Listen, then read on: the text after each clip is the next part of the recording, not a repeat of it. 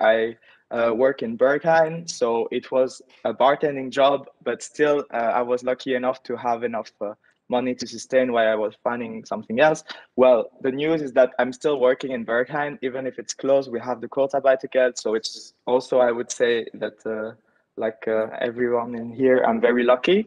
Um, and three months after, I found a position in Trauma Bar und Kino, which is a cultural space, club, cinema, uh, where I'm the director of production.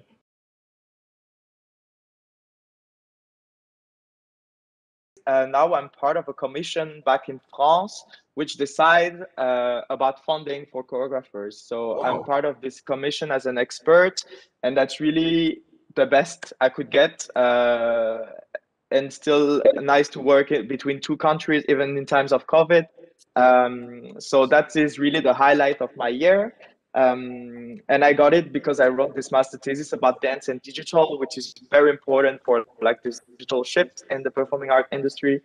Um, yeah, and after I finished the master, I got hired in Trauma Bar und Kino, which is a cultural space mainly known as a club, but we also have a dance studio and a and a and a cinema. So there, I'm the director of the production, and I'm also doing the creation of the dance program. So I'm exactly where I wanted to be when I moved to Berlin, and this is uh, partly because of the of the program.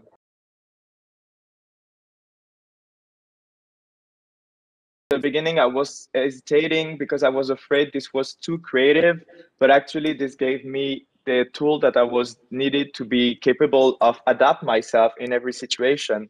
Now I'm uh, being in the direction of this uh, cultural venue where we face a lot of issue because we are closed since almost a year now and we had to transition obviously so now we are doing this transition and i believe that uh, part of uh, the the class we had uh, helped me to to give me the tool to be able to react and to because in the program we had so many we had to go in situation and and and um, and act. So this is really what i like this uh, very practical approach of uh, of of working in the creative and cultural industry.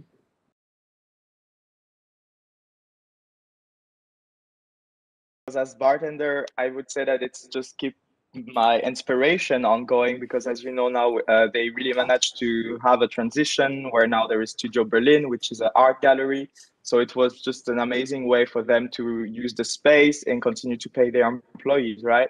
Um, so yeah like the, the, this first job is more about like getting inspired. And the second it helped me because uh, it's a lot of strategy. I'm part of the board of administrator of Trauma Bar und Kino, so it's about, yeah.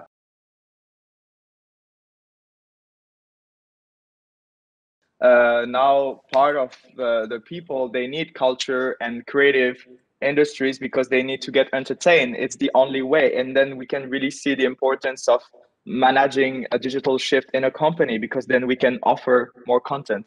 So I feel like uh, it's uh, it's uh, it's not the case because people need culture more than ever in these difficult times, and uh, yeah, that makes sense.